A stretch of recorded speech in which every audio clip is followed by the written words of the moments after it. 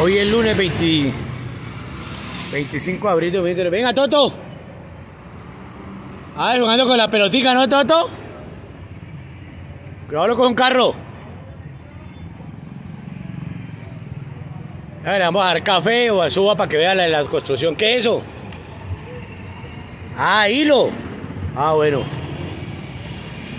Toto, el dueño del Museo Popular de Siloé. Suba, pues, suba. Suba, que está mal, suba. Café. Bueno, no quiso subir el Toto hoy 25 de abril. No quiso subir a su museo. Lleva bastante hilo allí.